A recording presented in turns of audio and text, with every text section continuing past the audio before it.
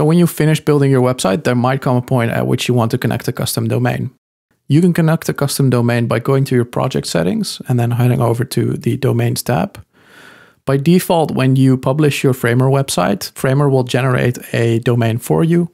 This is great so you can start testing it in the browser, but you can also get a free subdomain from Framer. This can be anything as long as it's not taken yet. So I'm going to enter supercool.framer.website. You can also change this to a different extension. So you can pick .photos, .media, .wiki, or .ai. I'm just going to pick .website for now.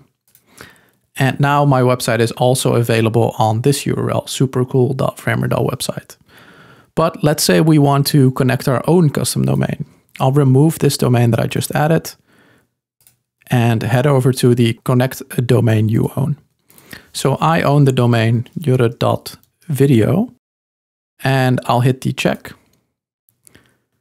which means I'm now attaching this domain to this project. We're not done yet though, because we have to make sure our DNS records are updated so that our domain provider knows that this domain should point to this Framer project. For some domain providers, we support AutoConnect. Um, so Framer checks um, whether your domain is hosted at a domain provider which supports this. My domain is hosted at Google Domains, which supports auto connect. So this blue button will show up, which will let me auto-connect my domain uh, to my Google DNS. If this blue button does not show up, you will have to enter this DNS information in your domain provider to make sure it knows that this project should now be connected to your domain.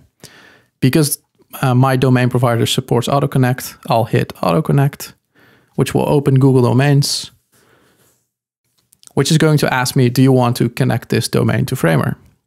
Uh, yes, I want to connect this domain, which is automatically going to add all of the DNS records. So Google now confirms that my domain is connected to Framer. So I'm gonna head back to Framer and click refresh. And Framer now also confirms that my domain is connected. So now if I head over to jurre.video, you will see that my site is now connected um, to my custom domain.